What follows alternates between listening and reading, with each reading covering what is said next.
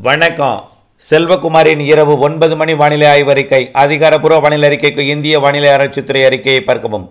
இரண்டாயிரத்தி இருபத்தி மூன்று மே ஆறு சனிக்கிழமை இரவு ஆய்வறிக்கை.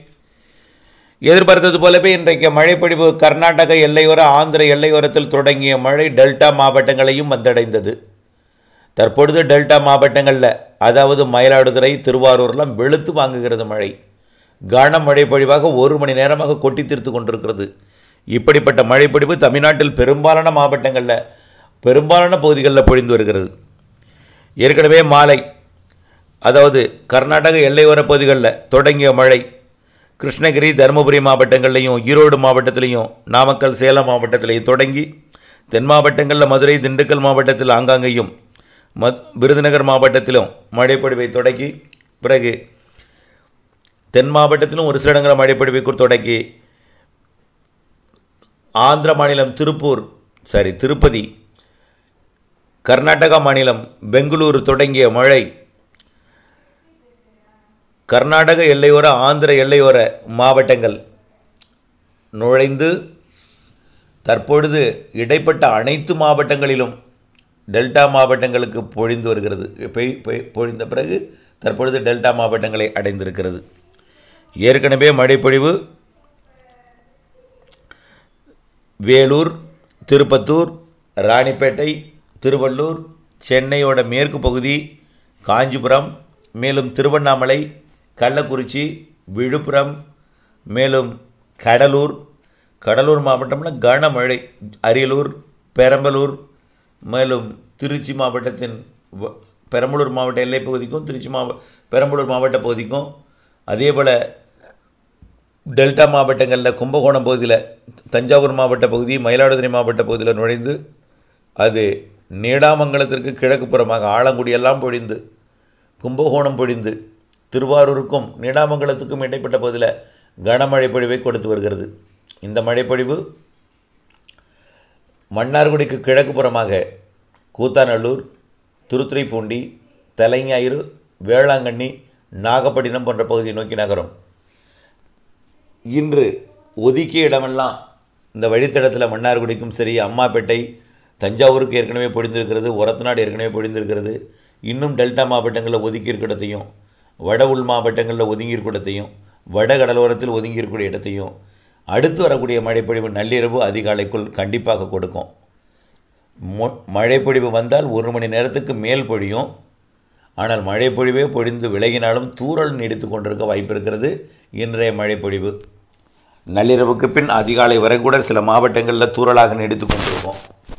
ஆக இன்றைய மழைப்பொழிவு கிருஷ்ணகிரி தருமபுரி சேலம் நாமக்கல் ஈரோடு நீலகிரி திருச்சி மேலும் திருப்பத்தூர் வேலூர் ராணிப்பேட்டை திருவள்ளூர் சென்னை செங்கல்பட்டு காஞ்சிபுரம் கள்ளக்குறிச்சி விழுப்புரம் புதுச்சேரி கடலூர் அரியலூர் பெரம்பலூர் மயிலாடுதுறை தஞ்சாவூர் திருவாரூர் நாகப்பட்டினம் காரைக்கால். இந்த மாவட்டங்களுக்கு உறுதியாக உண்டு. மேலும் கூடுதலாக புதுக்கோட்டை திருச்சி மாவட்டத்தின் தெற்கு பகுதி திண்டுக்கல் மாவட்டத்தில் அங்கங்கே மதுரை மாவட்டத்தில் கொஞ்சம் கூடுதல் இடங்களில் சிவகங்கை மாவட்டத்திற்கும் அதே போல் ராமநாதபுரம் மாவட்டத்திற்கும் விருதுநகர் மாவட்டம் மற்றும் தேனி மாவட்டத்திற்கும் மழைப்பொழிவு உண்டு. திருப்பூர் மாவட்டத்தில் பாலக்காட்டு கணவாய்க்கு வடக்கையும் தெற்கையும் நள்ளிரவுக்கு பின் அதிகாலையில் வாய்ப்பு இருக்குது நாளையிலிருந்து மழைப்பொழிவு அந்த இடத்துல உறுதி.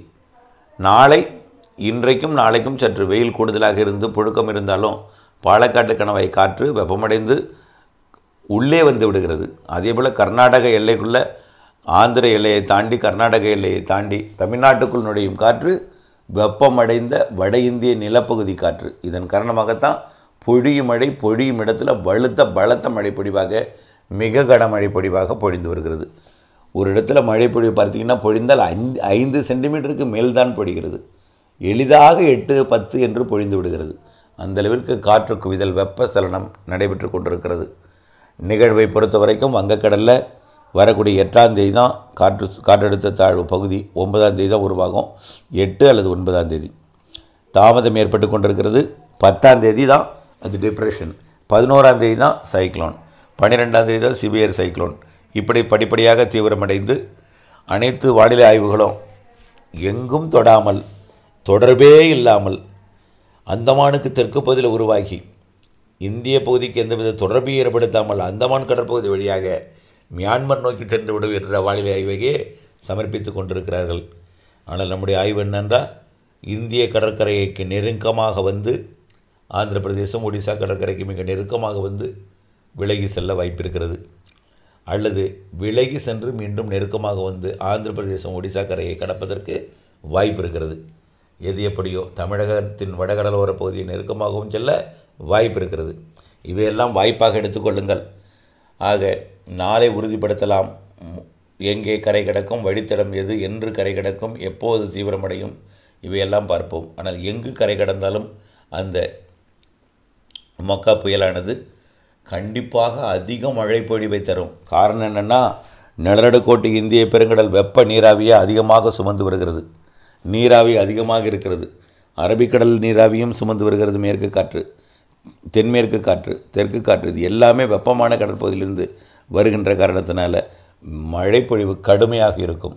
காற்றின் வேகமும் அதிகமாக இருக்கும். அது நிச்சயமாக தமிழ்நாட்டிற்கு வாய்ப்பு மிக மிக குறைவு. ஆனால் அது நெருங்கி வந்து விலகி செல்லலாம். ஆனால் எதற்கும் நாம் வானிலை கூட இணைந்தே இருக்க வேண்டும். திட்டமிட்ட வேளாண்மை செய்ய வானிலருக்குடன் இணைந்திருப்பது கட்டாயம். ஆக நம்முடைய ஆய்வின்படி நடக்குமா? அல்லது அமெரிக்கா போன்ற வல்லரசு நாடுகளின் மாதிரிகளின்படி நடக்குமா?